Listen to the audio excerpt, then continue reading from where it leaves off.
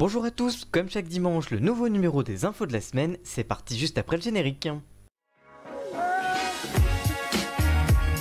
En début de semaine, la youtubeuse lifestyle Lena Situation a officialisé sa relation avec l'autre youtubeur Seb, qui a récemment fait ses preuves sur un documentaire diffusé sur TFX.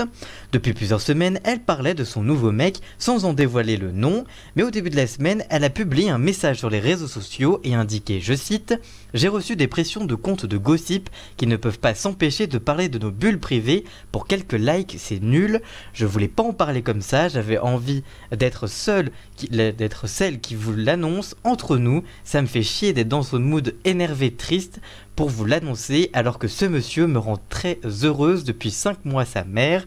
Seb Lafrite, miskin, tu sais pas dans quoi tu t'embarques, bienvenue dans mon monde. Un message loufoque, drôle, on sait pas comment on peut l'interpréter mais en tout cas c'est un très joli message et en tout cas on leur souhaite beaucoup de bonheur.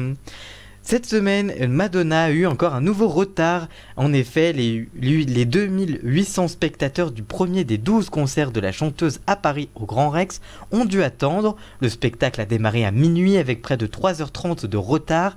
La faute a des soi-disant problèmes techniques, mais c'est pas la première fois qu'elle fait le coup. Si le show était irréprochable, Madonna a terminé son spectacle à 2h15 du matin. La plupart des spectateurs n'ayant plus de transport en commun se sont retrouvés sans rien et surtout sans excuse de la part de la chanteuse.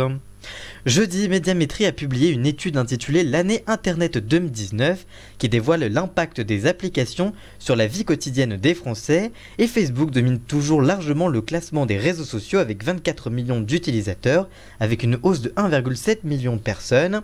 Le réseau social devance Snapchat qui progresse de 5,8 millions d'utilisateurs. Messenger arrive troisième avec 12,2 millions d'utilisateurs en France. Instagram arrive ensuite avec 11,5 millions de fidèles, avec une hausse de 4,2 millions de personnes.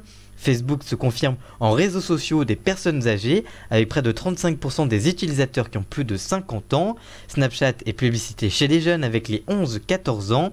TikTok, qui compte 1,5 million de Français, euh, d'utilisateurs français, eh euh, est une application très jeune avec 12% des collégiens qui sont connectés tous les jours et même 78% euh, des moins de 24 ans qui sont connectés au moins une fois par jour. Donc TikTok s'implante vraiment en France chez les jeunes. Merci d'avoir suivi cette émission, n'hésitez pas à la partager et on se retrouve la semaine prochaine. A très bientôt, ciao